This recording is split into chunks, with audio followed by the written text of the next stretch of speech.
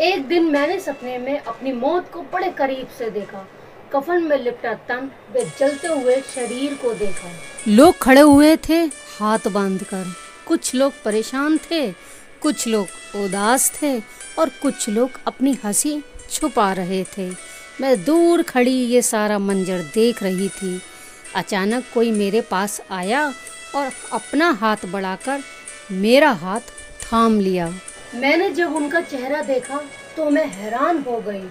मेरा हाथ थामने वाला कोई और नहीं, बल्कि मेरा भगवान था। मेरे प्रभु के चेहरे पर मुस्कान थी, और वह मेरे पास नंगे पाँव आया था।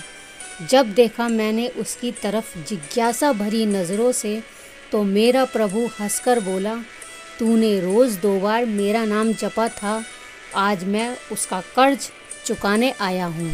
मैंने प्रभु की जब से बातें सुनी तो मैं अपनी बेवकूफ़ियों पर रो पड़ी।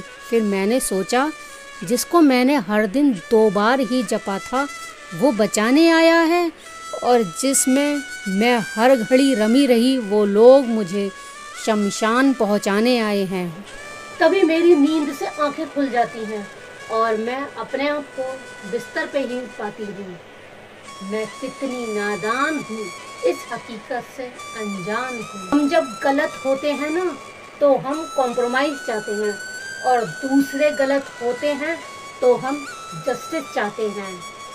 भूल होना प्रकृति है। मान लेना संस्कृति है। और सुधार लेना प्रगति है।